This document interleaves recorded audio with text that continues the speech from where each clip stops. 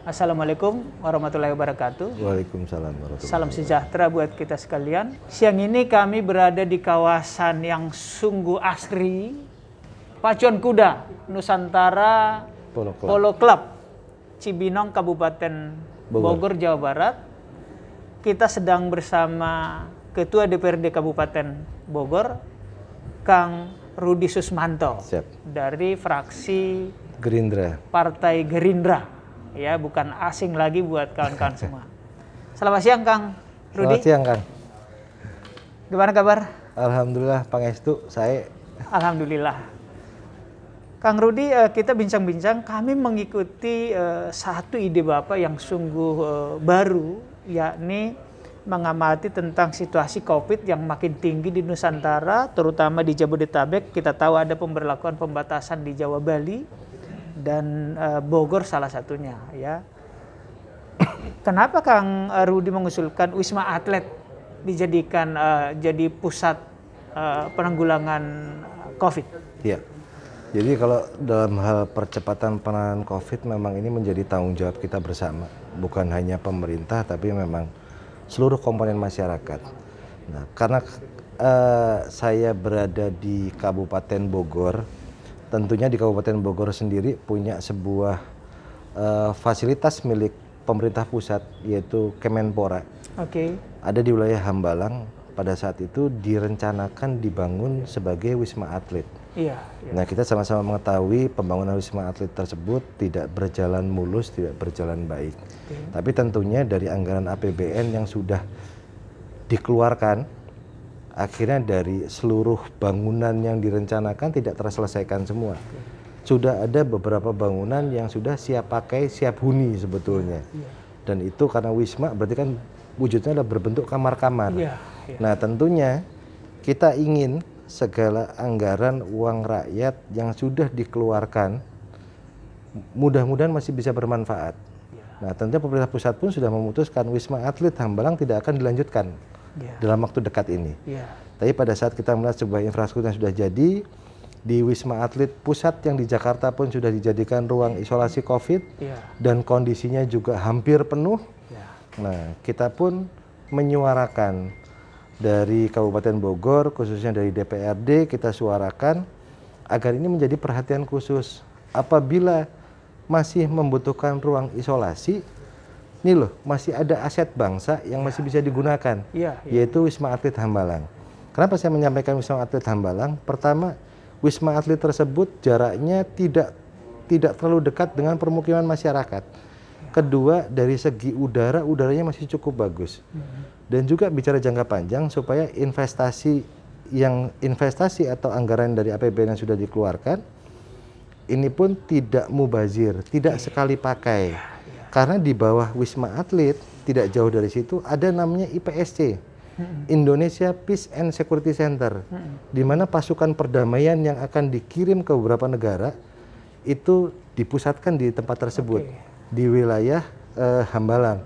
Jadi saya pun melihat di dalam IPSC sendiri ada namanya Universitas Pertahanan, Unhan. di mana Unhan Universitas Pertahanan tersebut memiliki sekarang fakultas kedokteran. Jadi sebenarnya ruang isolasi tersebut apabila pemerintah pusat ini membutuhkan ruang isolasi, ini loh masih ada aset, masih ada fasilitas, ada tempat yang hari ini bisa dijadikan sebagai rujukan ruang isolasi COVID dan jangka panjang pada saat itu akan dipermanenkan menjadi contoh rumah sakit militer bisa menampung SDM-SDM anak-anak bangsa yang terbaik lulusan dari Fakultas Kedokteran Universitas Pertahanan pun bisa masuk ke situ. Iya. Iya. Nah, bicara SDM yang hari ini jadi kendala, di bawahnya pun eh, prajurit-prajurit TNI ada semua di bawah situ. Iya. Termasuk Badan Penanggulangan Terorisme pun ada di dalam situ. Oke. Jadi kita melihatnya dari jangka panjang supaya eh, uang rakyat yang bersumber dari APBN digunakan untuk membangun Wisma Atlet minimal bukan hanya meninggalkan kisah pilu, kisah sedih, Iya. tapi ternyata ada manfaatnya buat rakyat, buat bangsa ini. Kita tahu Isma itu punya tadi dosa pilih di masa lalu, menterinya jadi tersangka. Itu tidak menjadi masalah ya, mestinya untuk misi kemanusiaan. Iya, karena- Menurut Kang Rudi gimana? Karena kalau kita melihat hukum tertinggi adalah keselamatan masyarakat. Oke. Jadi hari ini daripada bangunan tersebut tidak digunakan dari baru sampai hari ini belum pernah digunakan minimal bisa menutup sedikit kisah pilu yang sudah pernah terjadi dan ternyata bisa bermanfaat buat masyarakat, buat bangsa kita. Itu alasan kemanusiaan. Iya. Kang Rudi pernah melihat baru-baru ini uh, Wisma Atlet Hambalang seberapa siap? Nah, kalau saya sendiri melihat memang ada beberapa bangunan yang belum siap. Oke. Tapi ada beberapa bangunan yang memang sudah jadi dan sampai hari ini pun masih dijaga. Oh, Ada security yang menjaga, khususnya di fasilitas-fasilitas yang sudah selesai dibangun. Kurang lebih ada sekitar dua tower besar sudah selesai dibangun. oh, dua tower ya. Dua tower besar Kalau di apa dikira-kira bisa kapasitas berapa itu? Nah kalau bicara kapasitas memang bicara angka, saya belum mengetahui angka Oke, pastinya, tapi memang kita melihat itu bisa menjadi daya tampung yang baik dan kalau bicara dari aspek lahan kan kemarin disampaikan karena eh, lahan tersebut katanya bergerak dan lain sebagainya tentu pada saat itu sudah dibangun ada kajian-kajiannya Setidaknya ada dua tower. Kalaupun tidak siap betul, pemerintah tidak membangun dari nol ya, Iya. tinggal melanjutkan ya. Betul. Oke, baik. Kang Rudi, eh, apakah usul ini antara lain terdorong oleh Kang Rudi kan pernah eh, positif tuh. Iya. Apakah ada pengaruhnya ke situ? Oh, ternyata eh, positif itu sungguh sakit, bla bla bla gitu. Apakah ada terdorong itu sehingga ada niat untuk menjadikan Wisma Atlet sebagai salah satu wisma atau rumah sakit penampungan COVID? Iya, jadi memang saya pada saat bulan September pernah juga saya terkonfirmasi positif COVID-19. Dan memang saya mengikuti perjalanan COVID khususnya di Kabupaten Bogor. Memang skala kecil. Kalau bicara bangsa ini memang sangat luas. Tapi kita melihat kondisi hari ini, hampir seluruh rumah sakit pemerintah maupun rumah sakit swasta untuk isolasi COVID hampir penuh. Dan yang kita khawatirkan lagi hari ini bukan hanya ruang isolasi. Jadi hampir seluruh rumah sakit yang memiliki ruang ICU COVID itu full sampai waiting list. Iya, iya. nah tentunya hari ini fokusnya jangan hanya kita menyampaikan okupansi rumah sakit kita untuk isolasi COVID sudah lebih dari standar WHO. Iya. Sudah lebih dari standar Kemenkes di angka 60%. Nah, padahal yang dibutuhkan hari ini bukan hanya ruang isolasi, Iya. tapi khususnya adalah ruang ICU khusus COVID. Iya, iya. Nah, itu yang harus diperbanyak. Karena kalau eh, pasien-pasien tersebut dengan gejala ringan atau kita sebut OTG, tentu tidak membutuhkan ICU. Tapi yang hari ini dibutuhkan adalah untuk menangani pasien-pasien dengan gejala sedang dan berat. Oke, baik. Kembali ke Hambalang, Kang Rudi sebagai Ketua DPRD Kabupaten Bogor dan politisi Gerindra, apa langkah konkret yang akan dilakukan? Rapat di DPRD, bersurat dengan Bupati atau bersurat dengan DPP eh, Gerindra? Apa? Ya. Jadi memang mekanismenya kita pun di DPRD sudah menggelar beberapa rapat. Terakhir kita melaksanakan ada namanya rapat gabungan dari seluruh komisi. Kita bukan hanya mengundang tim gugus tugas percepatan penanganan COVID Kabupaten Bogor, tapi instansi vertikal beberapa direktur rumah sakit termasuk direktur rumah sakit TNI Angkatan Udara di Lanut Atang Sanjaya, Rumah Sakit Hasan Toto, kita pun kita undang.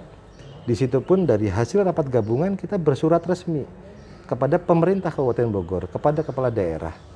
Nah, karena mekanismenya sebenarnya lingkup kita adalah lingkup Kabupaten Bogor. Tapi karena kita ini sama-sama punya jiwa patriot yang sama, kita cinta bangsa ini, kita sayang bangsa ini, sumber-sumber atau hal-hal pemikiran yang positif, saran masukan aspirasi dari masyarakat yang positif, ya ini harus kita suarakan.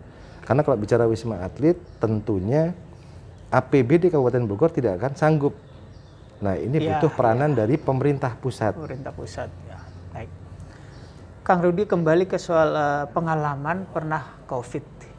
Kita tahu di kota Bogor terutama ada Kabupaten survei Bogor. yang pernah saya dengar hanya 15 persen. Mohon maaf kalau agak keliru ini pernah saya dengar hanya sekitar 15 persen masyarakat yang peduli yang menyatakan bahwa COVID itu ada, selebihnya enggak. Setelah Kang Rudi mengalami, apa eh, imbauan ke masyarakat? Apalagi hari ini kita tahu rumah sakit pada penuh. tadi kami hendak ke sini masih banyak masyarakat yang bawa anaknya sepeda motor tidak pakai uh, masker. Pengalaman Kang Rudi waktu uh, COVID itu seperti apa sih? Yeah. Dan mungkin bisa disampaikan ke masyarakat ajakan untuk iya. semakin yeah. peduli. Jadi memang mungkin pola pikir sebagian masyarakat dengan pola pikir saya hampir-hampir mirip. Pada saat itu kita melihat oh COVID ini mungkin hanya ada di negara luar. Di Indonesia mungkin ya hampir mirip-mirip karena COVID sendiri adalah salah satu virus keluarga flu burung, flu babi. Pada saat itu kan juga sempat sempat ramai juga ada flu burung, ada SARS, ada MERS. Iya, iya. Nah, tapi pada saat itu saya awal merasakan, loh kok badan saya meriang naik turun. Saya pikir saya tipes. Pada saat saya cek darah, ternyata saya dinyatakan tidak tipes. Nah, akhirnya pada saat itu saya memutuskan saya rapid test dan saya swab di hari dan jam yang sama. Okay. Nah, pada saat saya rapid test, hasilnya negatif. Wah, alhamdulillah hasilnya negatif. Karena pada saat itu hari berikutnya saya akan pimpin rapat paripurna. Ya. Nah, hari berikutnya karena dari hasil rapid test itu saya negatif, saya pimpin rapat paripurna. Selesai rapat paripurna, hasil swab saya keluar. Saya dinyatakan positif. Nah, ini memang pada saat ini, pada saat saya dinyatakan positif, itu yang ada dalam hati nanti setelah ini saya akan seperti apa ya? Jangan-jangan nanti saya sesek. Jangan-jangan nanti saya tiba-tiba nggak bisa bernafas. Nah itu kan kepanikan akhirnya muncul. Dan saya pada saat itu langsung komunikasi dengan uh, Rumah Sakit Umum Daerah Cibinong, konsultasi dan lain sebagainya. RSUD Cibinong minta, udah Pak kita isolasi di RSUD. Nah, cuman pada saat itu saya minta, saya ingin isolasi mandiri saja. Hmm, Nanti kalaupun ada gejala yang lebih berat, saya akan komunikasikan untuk masuk ke rumah sakit. Nah, ternyata di pada saat masa isolasi banyak pengalaman-pengalaman baru. Hmm. Di hari ketiga mulai hilang tuh uh, indera penciuman, oh. indera perasa. Nah, tapi kuncinya sebetulnya ada satu. Karena hari ini uh, vaksin COVID baru ada di Indonesia. Nah, dan proses untuk distribusi ke masyarakat memang membutuhkan waktu. Yeah, nah, yeah. sebetulnya obat COVID itu hanya satu Nah, kita harus berupaya hati kita, pikiran kita harus selalu bahagia. Oh. Nah, prinsipnya satu untuk menaikkan imun kita. Nah, prinsipnya satu, jangan lupa bahagia. Ya, ya, ya, ya, ya. Best practice-nya apa yang Kang Rudi lakukan supaya jangan lupa bahagia? Karena ya. itu kan tidak tidak mudah bagi ya, semua orang. Dan ya. itu memang tidak mudah. Saya isolasi mandiri itu hampir 20 hari. Nah, pasien COVID itu dinyatakan dengan angka CT. CT-nya harus di atas 40. Pada saat itu CT saya sangat rendah. Jangan lupa subscribe ya.